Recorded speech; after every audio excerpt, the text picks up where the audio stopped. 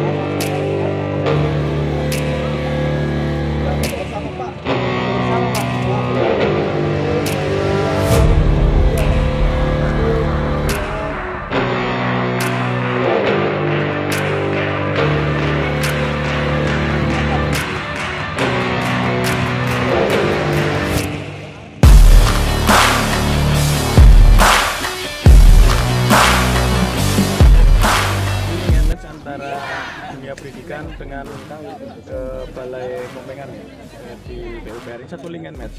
Infrastruktur besar ini dijadikan wahana untuk teaching factory atau tempat pembelajaran berbasis project atau project based learning bagi SMK dan perguruan tinggi vokasi untuk khususnya bidang eh, perikanan.